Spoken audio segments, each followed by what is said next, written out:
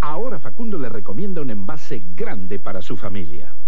Sí, sí, grande pero cuadrado y con manija. Cuatro litros de Facundo en Tetrabric. Totalmente seguro. Genial, Facundo. Natura tiene una propuesta. Respetar el sabor original que la naturaleza le dio a cada